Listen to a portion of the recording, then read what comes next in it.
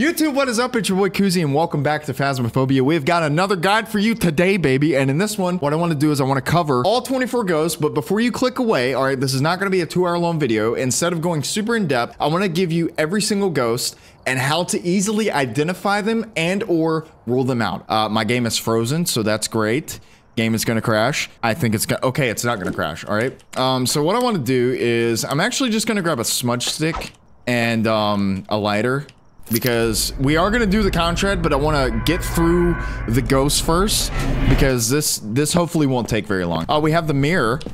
That'll be good. Let's use that. Uh, it's the dining room. So maybe it is a Thaye, and we'll sit here in the ghost room. I'm actually going to go chill in the garage because the ghost starts the hunt in the ghost room, by the way, in case you didn't know that. All right, so the easiest way to identify a spirit, if you smudge it and it doesn't hunt for three minutes. Every other ghost, minus a demon, which I'll get to that here in just a moment, is prevented from hunting when you use a smudge for 90 seconds. Unless it's a spirit, in which case it'll be prevented from hunting for three minutes, all right? Poltergeist, the easiest way to identify this is it throws, all right? So outside of the hunt, uh, it has a higher chance to throw things about every like 0.5 seconds. I'm not kidding. It will throw a lot more frequently. During a hunt, if you put a bunch of stuff on, like, for instance, we're on Tanglewood right now. So if I take uh, this uh, this nice long juicy cock here. Hold up. Wait a minute. And I go and I put it here on the island, which is where I like to uh, take the ghost for a loop, uh, which I can do a guide on looping the ghost as well. But uh, basically, if it's a poltergeist and you loop it around the, the island, it will basically clear off this whole island. All the stuff that can be uh, picked up. So like this magazine will stay, the bread box will stay, but you can put the potato in here.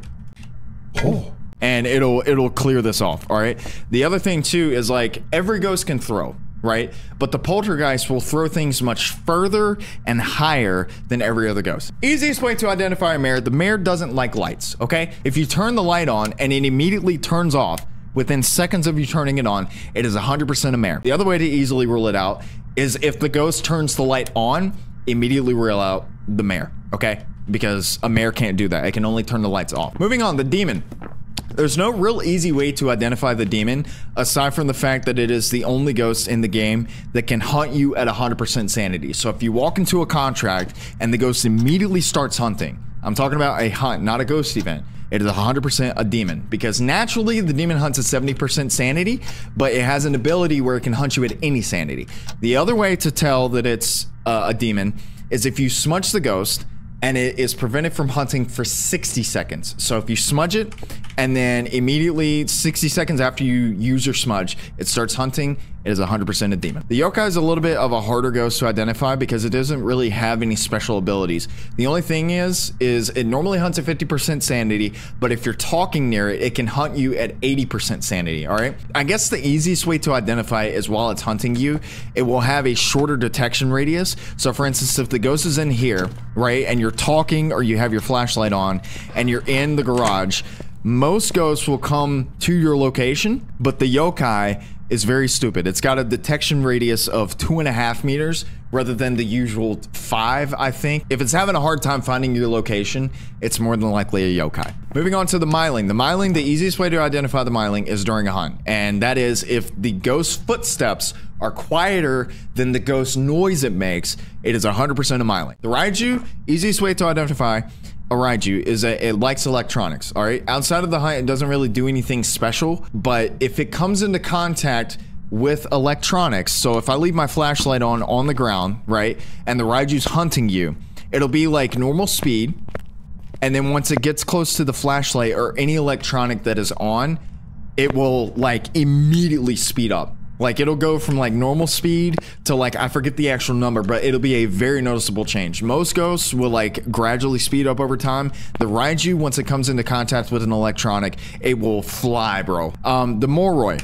All right, uh, I want to do the Moroi and the Thaye together, okay? Uh, because these two ghosts, whenever I'm at zero sanity, they are very hard to differentiate between because they're both very fast. The only difference is that the Moroi, your sanity dictates its speed. So I think it hunts at 50% sanity, but once you hit 30% sanity, it starts speeding up. And the lower your sanity is, the faster it gets. The only difference between the Moroi and the Thaye is that at 0% sanity, the Thaye and the Moroi are about the same speed. How to tell if it's either a Moroi or a Thaye is the Thaye does not speed up. The thing you got to know is that if you get a hunt and it's kind of fast, and then you don't take any sanity pills, you drain your sanity more, and the next hunt it's even faster, it is 100% a Moroi. The Wraith, super easy ghost to identify, bro. All you need is some salt. If it doesn't step in salt, it is 100% a Wraith. On the opposite, if the ghost does step in salt, you can immediately rule out uh, a Wraith, okay? One thing I'll touch on. Wraith, Phantom, Banshee are all teleporting ghosts, meaning they are more prone to come to your location and do a ghost event and follow you around the map and do ghost events right near you, all right?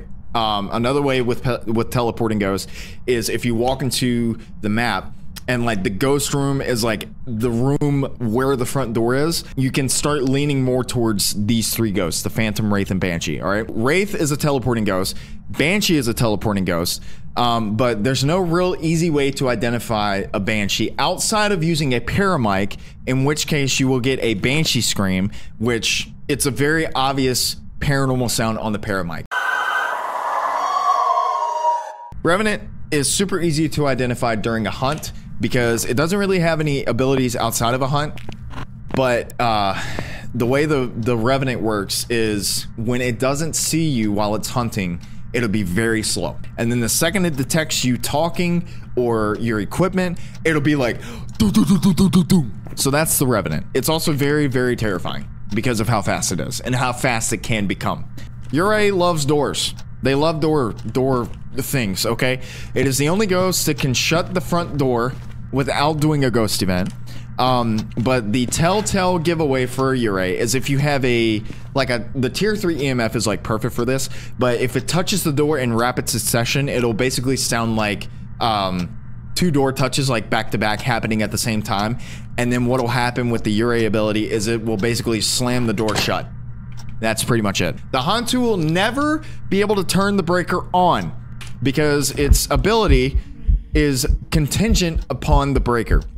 The breaker has to be off for the Hantu to do its ability, meaning um, it, to be faster and to do its freezing breath. But the thing you got to know about the Hantu to make it easy to identify is that it will never turn on the breaker, it will never turn on the breaker, and while it's hunting you, it will not speed up the longer it sees you like every other ghost. It will speed up slowly, like ever so slightly, but that is because the Hantu is dropping the temperature of the room that you're in, and the the colder the temperature of the room, the faster the Hantu is. Okay. Onryo is a little bit difficult, but the easiest way I can tell you with the Onryo, the Onryo is a if you have a lit candle and a crucifix, and the candle's lit, and it uses the crucifix instead of blowing out the candle, you can 100% rule out an Onryo. The other way to tell is if you have a candle and it blows it out three times and it does not hunt, it is 100% not an Onryo. The Obake is a shapeshifter and it doesn't like to show fingerprints. All right. So if it does show fingerprints, there's two things you got to know. It can leave a special fingerprint where it'll have like a six digit fingerprint like this, like where you got another finger, right? Um, the other thing too is that if it does leave a fingerprint, the Obake has an ability where it can uh, shorten the fingerprint duration uh, by half. The other, and probably the easiest way to identify that it's an Obake is if it's chasing you and you see it change into a different ghost model for a split second, it is 100% an Obake. The Deogen. I love Deogens, man. They're, they're great. I love them because they're so easy to survive during a hunt. Because what the Deogen is, is opposite of the Revenant. So the Revenant is slow whenever it doesn't see you and extremely fast when it does see you. The Deogen is opposite, all right? It is extremely fast whenever it doesn't see you, so it sounds terrifying. But if it gets to say where this where the edge of this island is, it will start to slow down significantly to the point where you could literally do circles around the, the Deogen, all right? The thing you got to know about the Deogen is if you're dealing with it during a hunt, never back yourself into a corner. Second thing you got to know during a hunt with the Deogen is you cannot hide from the Deogen because it always knows your location. All right, it even says so in the journal. All right, but I love Deogens. The other thing about the Deogen is that there is a very rare, like a two percent chance of happening, uh, spirit box response that you can get if you're right on top of the ghost. It just turned out the breaker. How I know the ghost did that is the light switch is still on. That's how I know. Up, and it's a mare. No, it's uh, it's an airball event. Very good. Okay. So let's turn the breaker back on, which brings me. Uh, I'm gonna skip ahead a little bit. That leads me to my next my next point. Right? It's not a Jinn because the easiest way to rule out a Jinn is that the Jinn will never be able to turn off the breaker. The Hantu will never be able to turn the breaker on. The Jinn will never be able to turn the breaker off. Okay, so that's how I know it is not a Jinn. Second thing that just happened right there, which will bring me to another ghost, is the Oni.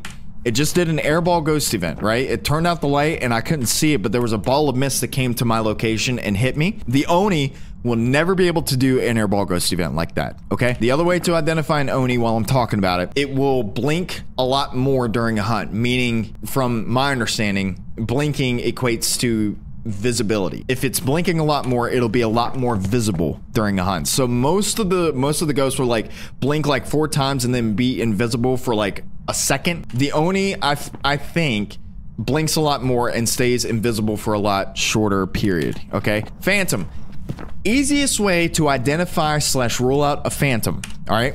To identify it is if it if it shows itself and you take a photo of it and then you go in your your photo section of your journal and you get a three star ghost photo but there's no ghost it's 100% a phantom. Uh, the other way to easily identify it which is easier for me is during a hunt. Because unlike the oni that will be more visible and more blinky the phantom will blink a lot less. It'll be a lot more invisible during a hunt um, so they're very hard to survive against. Uh, they're very hard to survive against um, in a uh, during a hunt because they're less visible, right? So it's uh, it's a bit challenging. But this ghost is following me around doing ghost events, so I don't know. Could could be a teleporting ghost. But yeah, so that's the phantom. Let's cover the shade now. The shade is kind of hard to identify except for if you've been in a contract for a very long time and the ghost is genuinely doing nothing, um, it's more than likely a shade because shade cannot do a ghost event at 100% sanity. It's very inactive, uh, and the longer you're in the contract, I guess like the more active it will become. But most of the times, if you're in a contract for a long period of time and the ghost really isn't doing a lot of ghost events or interactions or anything like that, it is more than likely a shade. The easiest way to identify the shade, though, is if you have cursed possessions like the music box and the summoning circle.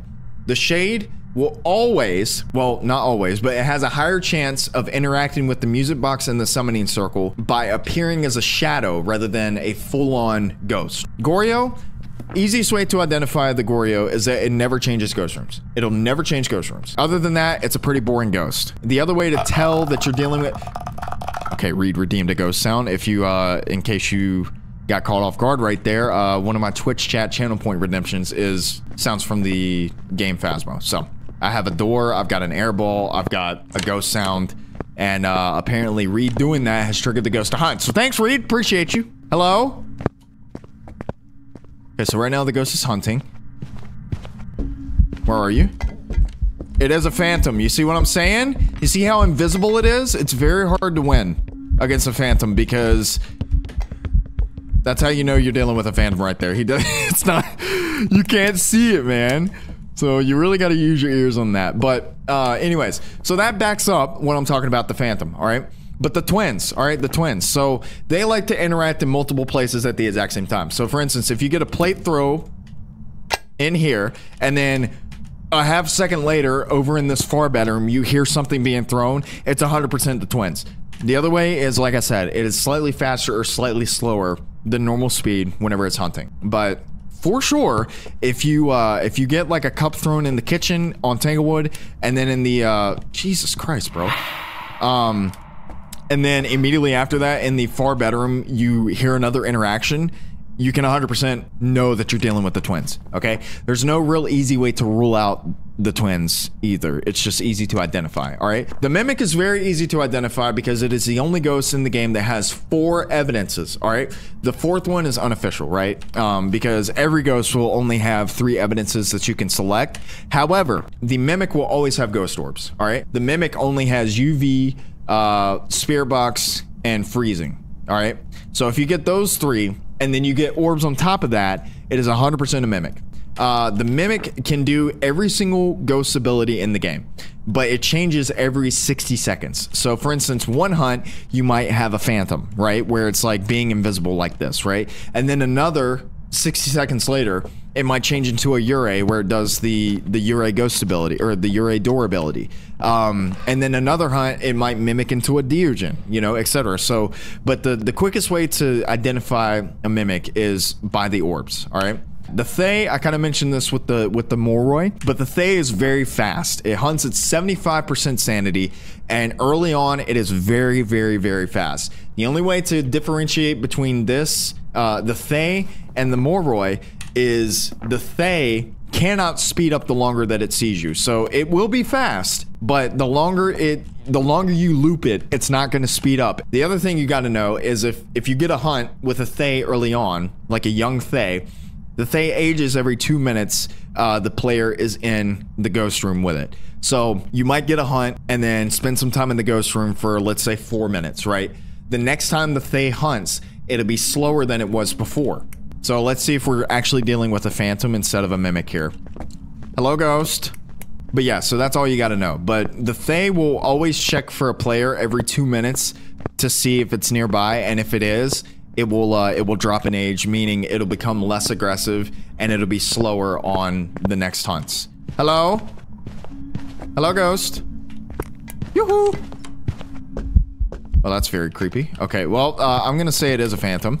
That is how to easily identify and or rule out all 24 ghosts. So now what we're gonna do, now that we know we're dealing with a phantom here, I'm gonna go ahead and try to go for a perfect game as well. So we're gonna grab our salt here. It's hunting again. I don't have a smudge. A little bit spicy. Oh, I'm fucking dead, bro. I'm fucking dead. I'm fucking dead. I'm fucking dead. I'm fucking dead. Uh... Oh my god. Jesus Christ. So the funny thing is, is even though Phantom is a teleporting ghost, it's still easy to be outsmarted. I almost died right there, bro. I almost died. Okay, uh, so we need a smudge stick. And it's stepped in the salt, so that further validates that it's not a wraith. Let's go take our sanity pills, shall we? Our last two sanity pills, because I'm probably at 0% sanity. So I could smudge the ghost as well. Yeah, we're really low, bro. But we need to get, um, we need to get a perfect game here. So we need to detect with a motion sensor and prevent the ghost from hunting. I'm gonna put that salt back, and then I'll come back out. I need to smudge the ghost. It's probably gonna hunt whenever I walk in. It just... It touched the car, so we're gonna go do that. Uh, it's starting the hunt from in here. So, set that up right there. And then we need this. Okay, it immediately detected it, I think. Yep. So now we just need to prevent a ghost from hunting. So let's go grab our camera. And I'll give you a bonus tip on how to get an easy perfect game at this time of recording. Because right now they haven't patched this, but this is like the easiest way to get a perfect game. You want to get all of your salt, right? Put it in a pile, and then take nine photos. I don't have any any photos. I could also take a photo of the ghost and go from there. So I'm gonna put this in here. Hello, ghost. Can you give me a sign? Can you show yourself, you stinky? Let's find the curse possession as well. See, watch. Oh, no, you were- you weasel! Alright, so that- that sound indicates that I've been hit by the ghost event. And because this is a teleporting ghost...